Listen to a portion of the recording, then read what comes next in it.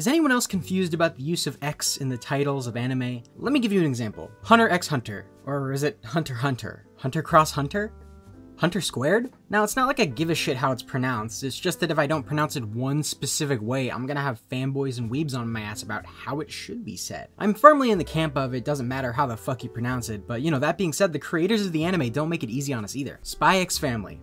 Spy family? Spy cross family would make sense because you're placing a spy into a family and the family works together. But then again, could it just be spy family because it's a spy Family? I do not fucking know. I think in a lot of cases it's being used as emphasis for the two other words in the title, but holy hell, do you need to make the X so prominent that it might as well be pronounced anyways? I mean, if you're gonna say it without the X in front of someone who's looking at the logo, they're gonna think you're crazy. Darling in the Franxx. Decent show, and it looks pretty obvious how you should pronounce it. One of the X's are silent. But I would not be surprised if someone mistakenly said both X's. Darling in the Franxx. Maybe you'd actually have to have something wrong with you to be able to make that mistake. So in the case of Hunter x Hunter, I mean Hunter Hunter, in the canon of the universe, the X is our version of a space in between words, and that's fucking stupid. I know our language logic doesn't apply to fantasy worlds, or even Japan for that matter, but imagine looking at a sign that sells bread and you read it, but all you see is bread X4, X sale, X2, X dollars, X per, X loaf. I would have an aneurysm just thinking about saying that out loud. Honestly, I would rather say Hunter times Hunter. Yeah, tell me the square root of Hunter, please. But you know, Spy Family and Hunter Hunter aren't the only culprits here. Kiss X Sis, anyone?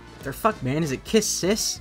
Kiss and Sis? I can't even find a consensus on the most used one. Maybe it's because people don't want to openly admit they watched it. After that, you've got Gun X Sword, Inu X Boku SS, Ladies X Butlers, and Kiss X Sis all apparently are silent X's. But High School DxD? I've seen people pronounce it as DxD, DD, and D&D. So tell me, are you going on a high-stakes fantasy multiplayer journey or are you trying to look at tits here? There isn't even a space between the double Ds like most titles have, so what am I supposed to do if I rock up to my school's local anime club and start talking about my favorite age-appropriate anime, High School DxD, but it turns out I could be pronouncing it wrong? I would be laughed out of the Spanish classroom slash anime club. Wait, Maybe that's a good thing. What confuses me the most is what do people get out of correcting someone for pronouncing the X when like 99% of the time, the X doesn't have any impact on the story of the show or how good the show is even. Alright, look at this title and tell me how you think it's pronounced. Yeah, it's pronounced Wicross. What, huh?